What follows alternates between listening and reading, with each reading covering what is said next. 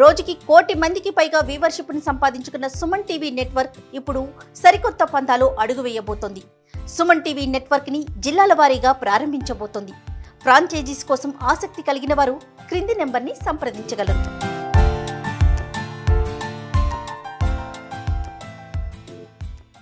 నా పేరు డాక్టర్ గంగాధర్ అండి. నేను ఇక్కడ షామీర్పేట్ మండల్లో పనిచేస్తున్నాను. లాస్ట్ నైన్ ఇయర్స్ నుండి పనిచేస్తున్నాను. నా specialization MVSc surgery and radiology అండి. మనం కొత్తగా ఫామ్ డైరీ ఫామ్ పెట్టుకునే ఫార్మర్స్ అవలం అవలంబించవలసిన పద్ధతులు ఎలా ఉండాలి అనేది దాని గురించి ఇప్పుడు చెప్పబోతున్నాను. మేజర్గా ఇందులో మనం ఒక నాలుగు పాయింట్స్ మీద కాన్సన్ట్రేట్ చేయాలండి. ఒకటి cattle shed second one labour third one feed and fodder fourth one fourth point ఈ marketing strategy milk and milk products.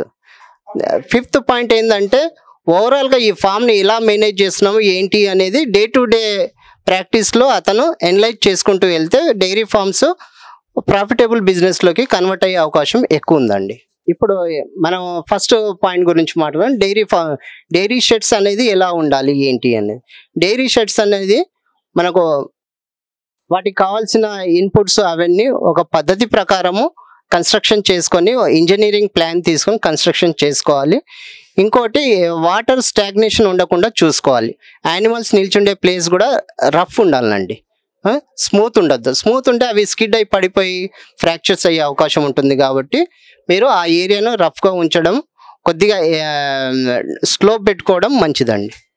Second point second పాయింట్లో మనం ఫీడ్ అండ్ ఫాడర్ విషయానికి వస్తే చాలామంది ఫార్మర్స్ ఈ ఫీడ్ అండ్ ఫాడర్లనే వాళ్ళకు వచ్చిన ఇన్కంలో ఫిఫ్టీ టు సిక్స్టీ పర్సెంట్ వాటికే కేటాయిస్తారు కాబట్టి అట్లా కేటాయించకుండా వాళ్ళు డిఫరెంట్ ఫాడర్ క్రాప్స్ ఉన్నాయండి. అందులో లెగ్యూమ్స్ ఉన్నాయి సీరియల్ క్రాప్స్ ఉన్నాయి గ్రాస్ వెరైటీ ఉన్నాయి. లెగ్యూమ్స్లోకి వెళ్తే మనకు కౌపీ ఉందండి హెడ్జ్ లూసర్న్ ఉంది. దాంతోపాటు ల్యూసర్న్ ఉంది స్టైలో ఉంది. ఈ ఫోర్ వెరైటీస్ ఉన్నాయి. ఈ ఫోర్ వెరైటీస్లో ఏంటంటే మనకు ఈ లెగ్యూమ్స్లో protein content fifteen to twenty percent ఉంటుందండి. వేరే ఫాడా వెరైటీ క్రాప్స్ను కంపేర్ చేసుకుంటే ఇందులో ప్రోటీన్ కంటెంట్ క్రూడ్ ప్రోటీన్ చాలా ఎక్కువ ఉంటుంది కాబట్టి ఈ ఫాడర్ క్రాప్స్ను ప్రతి ఒక్క ఫార్మరు డైరీ ఫార్మరు ముందు కల్టివేషన్ చేసుకోవడం నేర్చుకోవాలి. ఈ నాలుగిట్లో ఈ నేను చెప్పిన ఈ నాలుగు ఇవి కౌపి హెడ్జ్ ల్యూసన్ ల్యూసన్ స్టైలోలో మనము ల్యూసన్ను క్వీన్ ఆఫ్ ఫోరేజెస్ అంటాము. ఎందుకంటే దీని ప్యాలెటబిలిటీ న్యూట్రిషను చాలా ఎక్కువ ఉంటుంది. యానిమల్స్ చాలా ఈజీగా యాక్సెప్ట్ చేయడం కూడా జరుగుతుంది. అదే కాకుండా ఇది నైట్రోజన్ ఫిక్సింగ్ చేస్తుందండి. ఇది ఒకటి దీంట్లో ఉన్న పెక్యులియర్ పాయింట్ అందుకే దీన్ని క్వీన్ ఆఫ్ ఫోరేజెస్ అని అంటారు ఈ ల్యూసర్ను. నెక్స్ట్ పాయింట్కి వస్తే మనము ఇవి సీరియల్ క్రాప్స్ సీరియల్ క్రాప్స్లో సీరియల్స్ ఫోరేజెస్లో మనకు మెయిజ్ అండ్ జవార్ వస్తుంది. మెయిజ్లో మనము ఆఫ్రికన్ టాల్ జనరల్గా చూస్తుంటాము. ఈ దాని తర్వాత జవార్. జవార్ వెరైటీ ఇప్పుడు మనం గవర్నమెంట్లో fifty percent seventy five percent సబ్సిడీలో ఇవ్వడం జరుగుతుంది. ఇది మల్టీ కట్ అండి. ఇది మల్టీ కట్ కాబట్టి మనకు ఇయర్లీ ఒక ఫైవ్ కటింగ్స్ వస్తూనే ఉంటాయి. నెక్స్ట్ మనం వస్తే గ్రాస్ వెరైటీలో గ్రాస్ వెరైటీలో వచ్చేది మనకు పారాగ్రాసు గిన్నీ గ్రాసు ఇంకోటి బ్లూ బఫెల్ గ్రాస్ అని అదొకటి ఉంది. ఇవి ఉన్నాయి కామన్గా కానీ మనము జనరల్గా హైదరాబాద్ ఈ సరౌండింగ్స్లో మనం పారాగ్రాఫ్స్ను ఎక్కువ చూస్తుంటాం. ఈ మూసినది ఆ ఏరియాలో. ఇనీషియల్గా స్టార్ట్ చేసే ఫార్మర్స్ చిన్న చిన్నకారి రైతు కానీ మధ్యతరగతి వాళ్ళు కానీ ఇనీషియల్గా ఒక ఫైవ్ యానిమల్స్ తెచ్చుకోవాలండి. తెచ్చుకొని మనకు కావాల్సిన ఫీడ్ అండ్ ఫాడర్ను అరేంజ్ చేసుకొని ఒక పద్ధతి ప్రకారము చేసుకుంటూ వెళ్ళాలి. ఈ పద్ధతి ప్రకారం చేయడం వల్ల ఏమవుతుందంటే మనకు ఎవ్రీడే మీ వచ్చే మిల్క్ను ఈజీగా మార్కెటింగ్ చేసుకొని దా దానివల్ల లాభాలు పొందే అవకాశం ఎక్కువ ఉంటుంది. మీకు ఎప్పుడైతే అనుభవం మెల్ల పెరుగుతుంటుందో దాని దాని తర్వాత మీరు యానిమల్స్ను పెంచడం స్టార్ట్ చేయాలండి. ఒకేసారి తీసుకొచ్చి అనుభవం లేకుండా పెట్టి లాస్ అయిపోతే చాలా ఇబ్బందుల పాలవుతారు కాబట్టి ఫార్మర్స్ చిన్నసారి చిన్న రై స్మాల్ ఫార్మర్స్ కానీ మార్జినల్ ఫార్మర్స్ కానీ ముందు ఫైవ్ యానిమల్స్తోని స్టార్ట్ చేయాలండి డైరీ ఫామ్ను దాని తర్వాత మెల్లమెల్లగా step by step every six మంత్స్కి ఒక ఫైవ్ యానిమల్స్ని యాడ్ చేసుకుంటూ వెళ్ళాలి. ఇలా చేసుకుంటూ వెళ్తే ఒక టూ ఇయర్స్లో మీకు ఒక ట్వంటీ యానిమల్స్ షెడ్ అవుతుంది. ట్వంటీ యానిమల్స్ షెడ్ అయినప్పుడు దీంట్లో కూడా మీరు సైక్లికల్ ప్యాటర్న్ అనేది ఒకటి ఫాలో చేయాలి. ఇప్పుడు twenty యానిమల్స్లో twenty animals at a time ఈనడం at a time milking ఇవ్వడం కాకుండా సైక్లికల్ ప్యాటర్న్లో ఒక టెన్ యానిమల్స్ పాలు ఇవ్వడము టెన్ యానిమల్స్ కన్సీవ్ అయ్యి అడ్వాన్స్ ప్రెగ్నెన్సీలో ఉండడం. అలా ఏమవుతుందంటే మీకు సైక్లల్ ప్యాటర్న్లో మీకు round the clock year wise మీకు డబ్బులు వస్తూనే ఉంటాయి. మీకు ఎటువంటి ఫైనాన్షియల్ ప్రాబ్లమ్స్ అనేది ఎరైజ్ కాదండి. ఇది మీరు ప్రతి ఒక్క ఫార్మర్ స్మాల్ ఫార్మర్ కానీ మార్జినల్ ఫార్మర్ కానీ ఈ పద్ధతిని అలవాటు చేసుకోవాలి.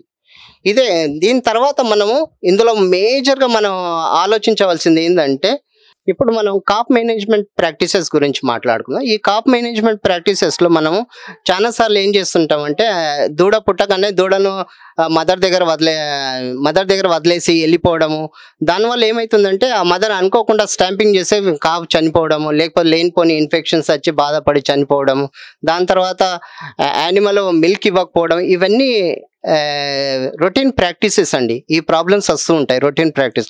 మీరు ఏం చేయాలంటే యానిమల్ ఈనగానే దూడని తీసి సెపరేట్ సెపరేట్ చేయడం. దాన్ని ఏమంటామంటే కావింగ్ పెన్స్ అంటాము. కావింగ్ పెన్స్లో మనము ఆ- దూడను ఒక టెన్ డేస్ ఫిఫ్టీన్ డేస్ అలా పెట్టినాం అనుకో ఏమవుతుందంటే అది సేఫ్గా ఉంటుంది. మనం ఎట్ ది టైమ్ ఆఫ్ మిల్కింగ్లో దాన్ని వదిలేసి మిల్క్ దాయిపించేసి మళ్ళీ దాన్ని మళ్ళీ అక్కడ పెట్టడము ఇది ఈ ప్రాక్టీస్ చేసుకోవాలి దీనివల్ల ఏమవుతుందంటే మనకు మోటారిటీ లెవెల్ అనేది తగ్గిపోతుంది. ఇంకోటి కాఫ్స్కు ఎటువంటి డిసీజెస్ కూడా రావండి. మనం ఇన్ జనరల్గా మనం రొటీన్గా చూసే కాఫ్స్లో చాలా మటుకు చనిపోతుంటాయి. ఓ ఫిఫ్టీ టు సిక్స్టీ పర్సెంట్ దాన్ని చనిపోవడానికి మూడు రీజన్స్ ఉన్నాయండి. ఒకటి మూడు డిసీజెస్ ఉన్నాయి. ఒకటి సెప్టిసిమియా ఒకటి న్యూమోనియా ఇంకోటి డయేరియా అండి. ఈ సెప్టిసిమియా అనేది మనకు మదర్ నుండి కూడా వచ్చే అవకాశం ఉంటుంది కాబట్టి త్రూ బ్లడ్ బ్లడ్ ట్రాన్స్ఫ్యూషన్ వల్ల బ్లడ్ వల్ల కూడా వచ్చే అవకాశం ఉంటుంది కాబట్టి అటువంటి కాఫ్స్ను మనం ముందే డిటెక్ట్ చేసి వాటికి సరైన ట్రీట్మెంట్ ఇవ్వడం మంచిదండి. ఈ సెప్టిసిమియాతోని జనరల్గా కాఫ్స్ ఏవైతే సెప్టిసిమియాతోని పుడతాయో అంటే ఇన్ఫెక్షన్తోని అవి ఏమైతాయి అంటే జాయింట్స్లో పెయిన్ రావడము కళ్ళ చుట్టూ ఉసులు క్లౌడీ ఐస్ ఉండడము వీక్గా ఉండడము కూర్చొని ఉండడం లేవకపోవడము ఇవన్నీ ప్రాబ్లమ్స్ న్యూరలాజికల్ డిజార్డర్స్ కూడా ఉంటాయి. Within three four days లోపల చనిపోయే అవకాశం ఉంటుంది. అటువంటి అప్పుడు మీరు ఏం చేయాలంటే యానిమల్ ప్రెగ్నెంట్ ఉన్నప్పుడే వాటిని సెపరేట్ చేయడము సెపరేట్ సెపరేట్గా ఉంచేసి అక్కడ వాటి ప్రాపర్ బెడ్డింగ్ ఫెసిలిటీస్ ప్రొవైడ్ చేసి దాన్ని రోజు టు రోజు మానిటర్ చేయడం నేర్చుకోవాలి. ఒక వన్ వీక్ బిఫోర్ ప్రెగ్నెంట్ యానిమల్ను సెపరేట్ చేసేసి వన్ వీక్ బిఫోర్ పాచురేషన్ అంటే ఈనే ముందు సెపరేట్ చేసేసి దాన్ని బెడ్డింగ్ అవన్నీ చూసుకొని ఎలా ఉంది ఏంటి దాని పొజిషన్ ఏంటి దాంతోపాటు డాక్టర్ సలహా ప్రకారం ఫీటల్ పొజిషన్ ఏంది కూడా తెలుసుకోవడం చాలా ఇంపార్టెంట్ అండి. ఫీటల్ పొజిషన్ మీకు అర్థం కానప్పుడు ఒక్కొక్కసారి డెలివరీ డేట్ వచ్చినా కూడా యానిమల్ డెలివరీ అవ్వకపోవచ్చు. అవ్వకపోవడం వల్ల కాప్ లోపలనే చనిపోయి దానివల్ల సెప్టిసీమి అయి మళ్ళీ మదర్ కూడా చనిపోయే అవకాశం ఉంటుంది కాబట్టి మీరు ప్రతి ఒక్క రైతులు marginal small scale small scale farmers ఎవరైనా ఉండని వాళ్ళ ముందు ఫీటల్ పొజిషన్ కూడా చూసుకోవడం చాలా మంచిదండి. అడ్వాన్స్ ప్రెగ్నెన్సీలో ఇది చాలా ఇంపార్టెంట్ పాయింట్ సెకండ్ పాయింట్ మనకు డయేరియా డయేరియా అనేది త్రీ మూడు వల్ల వస్తుందండి. ఒకటి ఇట్ కుడ్ బి బ్యాక్టీరియల్ అవ్వచ్చు లేకపోతే వైరల్ అవ్వచ్చు లేకపోతే పారాసైటిక్ అవ్వచ్చు. ఈ బ్యాక్టీరియాలో మనకు ఈకోలై సల్మెల్లా క్లోస్ట్రిడియం పర్ఫెంజెన్సీ ఇవి ఉన్నాయండి. ఈ ఇవి కామన్ ఇన్ఫెక్షన్స్ ఈ కానీ ఇందులో క్లోస్ట్రిడియం పర్ఫెంజెన్సీ వల్ల ఏమవుతుందంటే ఈ ఇన్ఫెక్షన్లో మనకు న్యూరలాజికల్ డిజార్డర్స్ కనిపిస్తుంటాయి. కాఫ్ వీక్ ఉండడము లేవకపోవడము నర్వస్ సిస్టమ్ అంతా వీక్ ఉండి పాలు తాగకపోవడము విత్ ఇన్ టూ త్రీ డేస్లో చనిపోవడం కూడా ఇది జరుగుతుంది. ఇవన్నిటిని మనం ముందే ఐడెంటిఫై చేసుకోవాలి. Second one bacteria viral viral డిసీజెస్లో మనకు జనరల్గా చూసేటి rotavirus coronavirus bovine viral diarrhoea ఇవండి. ఇందులో ఏంటంటే మోషన్స్ అన్నీ వాటరీ టైప్ మోషన్స్ ఉండడం దానివల్ల బాడీ ఎలక్ట్రోలైట్స్ అవన్నీ లాస్ అవ్వడం వల్ల యానిమ కాఫ్ వీక్ అయిపోయి సడన్గా బాడీ టెంపరేచర్లో అయిపోయి చనిపోయే అవకాశం ఉంటుంది. దీన్ని కూడా మీరు దృష్టిలో పెట్టుకోవాలి. దీనికి కావాల్సిన supportive electrolytes either in the form of water or liquid ఫామ్లో ఇవ్వడం నేర్చుకోవాలండి. ఈ కాఫ్ డైరీలో మనకు లాస్ట్గా పారాసైటిక్ దాంట్లో మనకు జనరల్గా కాక్సిడియోసిస్ ఒకటి జిఆర్డిఐ ఇవి రెండు అండి. దీనివల్ల యానిమల్స్ బాగా వీక్ అయిపోయి ఇది అవ్వడం జరుగుతుంది. అదే కాకుండా ఇప్పుడు మస్ట్ థర్డ్ పాయింట్కి వస్తే న్యూమోనియా న్యూమోనియాలో మనకు జనరల్గా లంగ్స్ ఎఫెక్ట్ అవుతాయండి ఇందులో జనరల్గా the causative organism haemolytica pasteurella haemolytica and mycoplasma ఈ ఆర్గానిజమ్స్ ఇప్పుడు సపోజ్ ఇప్పుడు మనకున్న కాఫ్ ఎందుకు చనిపోయింది అని చూడాలనుకున్నప్పుడు పోస్ట్ మార్టం చేస్తే మనకు ఇంటెస్టైన్లో మనకు హెమరేజెస్ ఉంటాయండి. ఇందులో న్యూమోనియాతో చనిపోయిన వాటికి.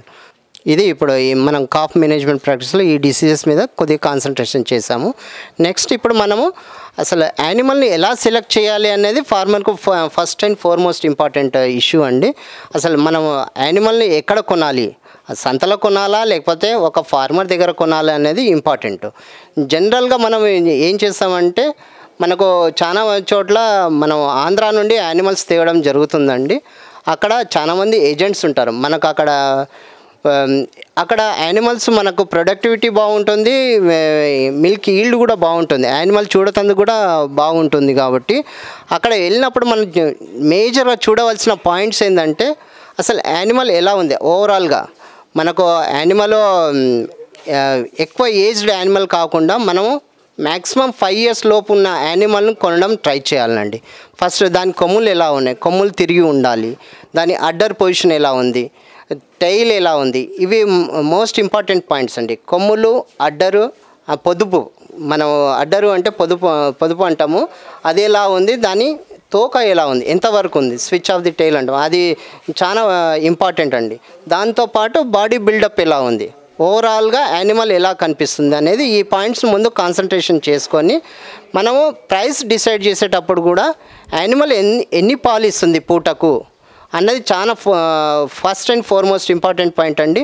ఒక లీటర్కు మీరు ఒక మూడు నుండి నాలుగు వేల రూపాయలు పెట్టొచ్చండి.